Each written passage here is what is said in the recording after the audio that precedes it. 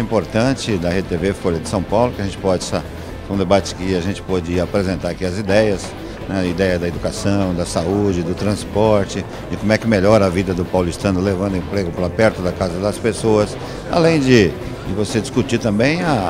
a, a eleição do subprefeito. Eu acho que é importante você ter os subprefeitos eleitos pela população para ele poder administrar com a descentralização e levar o emprego para perto da casa das pessoas, diminuindo os impostos que a prefeitura cobra, como o IPTU e o ISS, que hoje é cobrado das pessoas. Então, com isso, com certeza, posso melhorar a vida das pessoas. E esse debate foi importante para poder falar isso com milhares de pessoas que pôde nos assistir durante o dia de hoje.